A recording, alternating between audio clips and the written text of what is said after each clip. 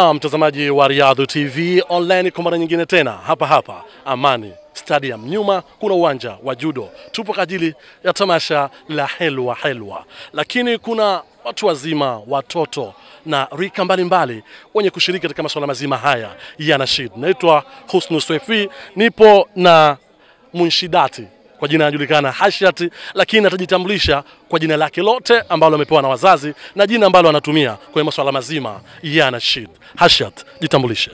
Kwa jina naitwa Hashat Ramadhan Jusa, ni mshidati kutoka Zanzibar. Nataka kusikia nashidi ambayo wewe unaipenda sana kuliko zote zako mwenyewe. Nashidi gani utanisomea ambayo unaipenda sana? Ya mama, Kwa nini mama? sababu Kwa nini mama siwe baba? Hashiati unamtenga baba eh? Kwa nini mama? Bubu Mama Mtume amemtaja mara ngapi? Mara tatu kwa ubora wake. Niimbie hiyo nashidi ama nisomee hiyo nashidi ya mama. umenilea kwa wema hadi hapa nimekuwa, mazuri yenye heshima. Mama, ulinipatia ulilotaka ni jema, kwangu liweze sogea, hata dua kwa karima. Mama, uliniombea Mashallah, mashallah, jazakallahu kheri. Ah, Hasha, tutuambie mpaka sasa hivi na shidi zako na rekodi wapi? kwa Afaizul heta na nani na nani wanakusaidia ama kukusimamia kwenye masuala yako ya nashid? Mama Yusuf Kalipso, mama ni su, ufti Suria Kalipso na Salimu Ali. na salimu Ali. Je, na shidi zako zipo katika redio zote? Ile silijue. Kuna uhakika? Swali lilomuuliza hawezi kulitambua kutokana huyu huu ni mtoto sana.